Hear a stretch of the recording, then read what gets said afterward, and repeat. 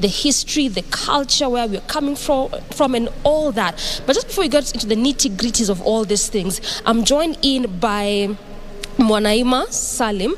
Mwanaima Salim is a principal curator, Nairobi Museum, and she's coming on board to just talk to us about the history of this museum, where it has come from, why it is important, why these different um, artifacts are here in this particular museum. Mwanaima, welcome to the program. You're on Good Morning Kenya. Good morning. How are you? Yeah, it's nice. Uh, talking about the museum this morning, and I'm talking about uh, the Nairobi Museum. And um, the Nairobi Museum is a melting pot for the rich uh, discoveries on heritage matters. We have quite a lot of diverse, rich discoveries. So we, we, we are the melting point here. Uh, the Nairobi Museum was initiated in 1910 uh, by the, uh, the, the Kenya, uh, the, the East Africa and the Uganda uh, naturalists uh, who are keen in collecting and preserving, I mean, and preserving culture. So um, they started uh, to collect, and uh, the first uh, museum was at the present Nyayo House. eventually, the place became too small because they continued to collect. They were passionate about collection and preserving.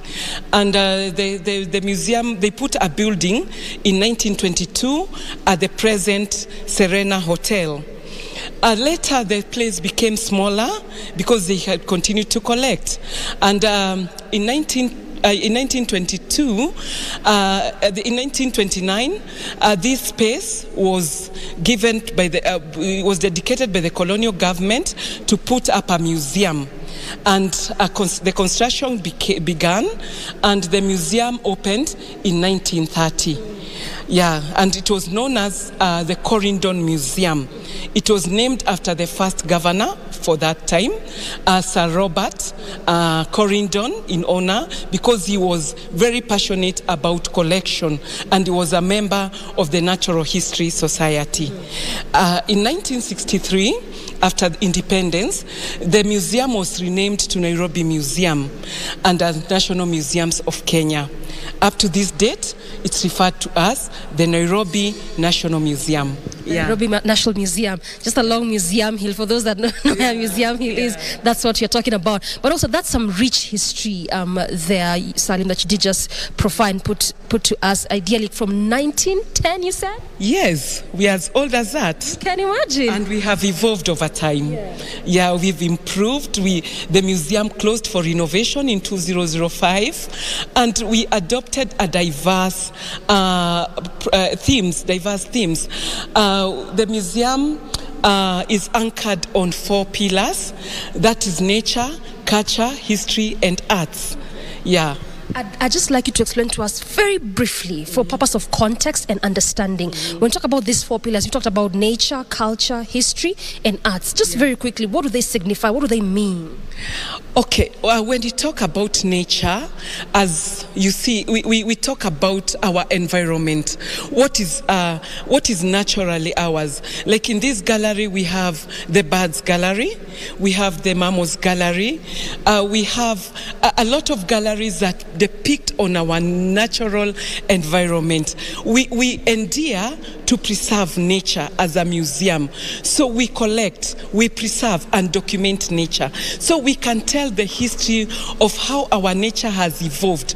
We have some plants, for example, in our herbarium and the botanic garden that, uh, that dates to uh, so many years back that are now extinct. We have collections of mammals in our research departments. We have collections of birds. We have a diverse collection of fishes, of all the natural uh, nature, what nature has to offer that we conserve, because uh, the history uh, tells uh, the history will determine the future. So we, we, we have all these, we collect, we preserve for post- posterity. So that's actually what we do as in nature. And on matters culture, we look at our ways of life. Uh, as, as we evolve and as society continues to evolve, we tend to lose most of these cu- culture and history.